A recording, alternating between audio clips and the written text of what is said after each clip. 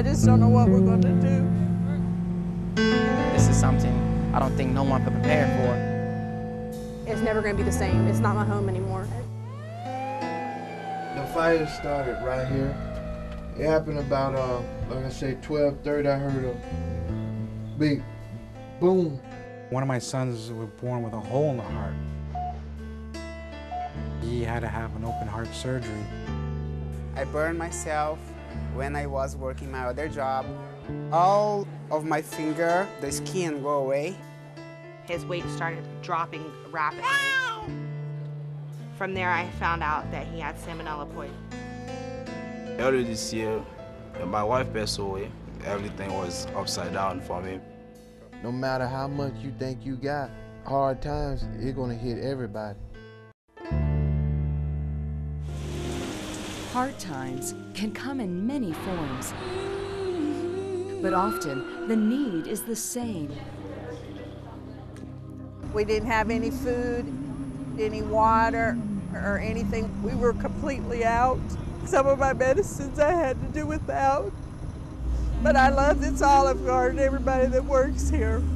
My uh, three-month-old son had open heart surgery. One day alone was $185,000. I had to take off from work without pay or anything. And while I'm gone, I had to come up with the insurance money. So it was kind of rough. My father passed away, and it was very sudden, and we had to get plane tickets to go home. I missed a week and a half of work. My father was only 63 years old, so we didn't expect to lose him. I hurt myself, I burned myself, I burned my hands, my two hands, my left hand, and my belly. I stay home for 20 days without work. My wife passed away because she had a breast cancer.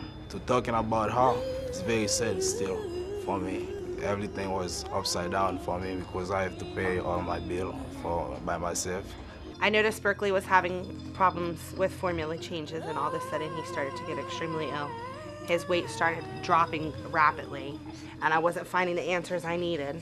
So I took him to a specialist. The fire was so powerful. As you could see, it burnt all of this up.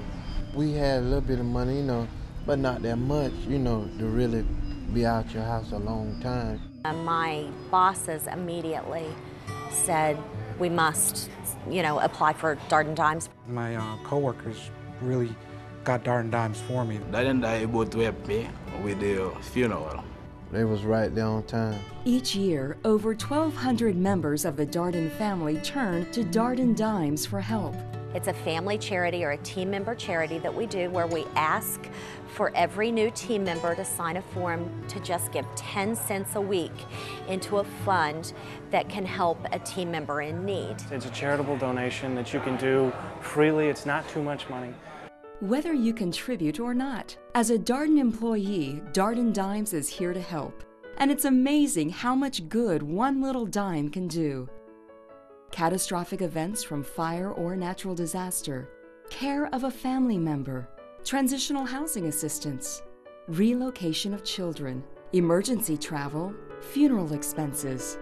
Each year, Darden Dimes helps meet the needs of our Darden family. I didn't know that Darden Dimes provided help for you to make sure that a loved one gets better. It helped me provide Berkeley with the things he needed. My manager called me in the office and he said, I got something for you. It was a Visa card and it had the amount of $300 on it. That made me feel real good that they really cared about us to do that.